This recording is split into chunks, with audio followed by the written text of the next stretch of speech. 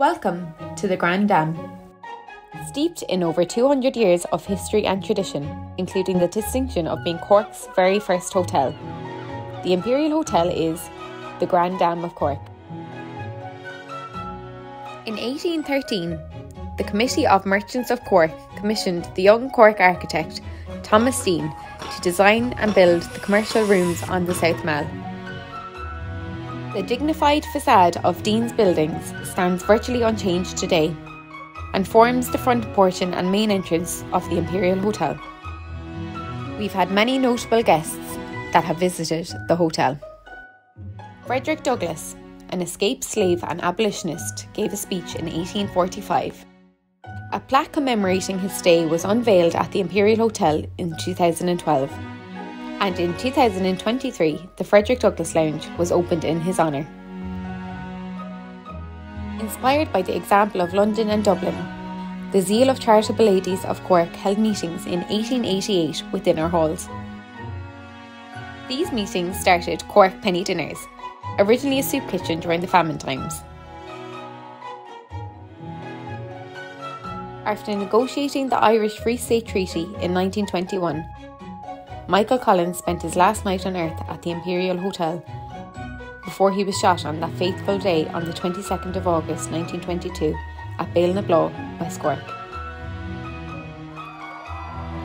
On June 24, 1961, Prince Rainier and Princess Grace of Monaco, along with their children, stayed with us in Cork as part of their royal visit to Ireland, which saw thousands flock to the South Mall to catch a glimpse of the Oscar winning actress turned Her Serene Highness Grace Kelly, a major icon of screen and style.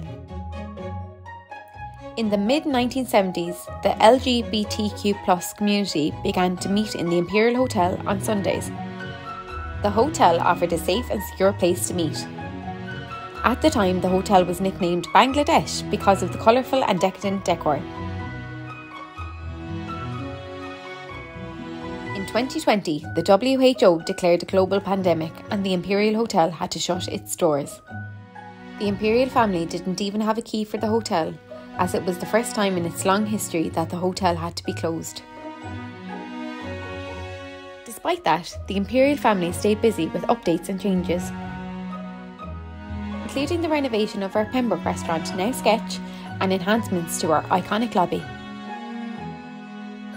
Since we've opened our doors again, we've been humbled by awards and accolades, including Ireland's Best City Hotel and the Gold Medal Awards Supreme winner. In 2023, we proudly welcomed our new owners, the Fitzgerald family, one of Ireland's biggest hospitality groups. Thank you for being part of our history.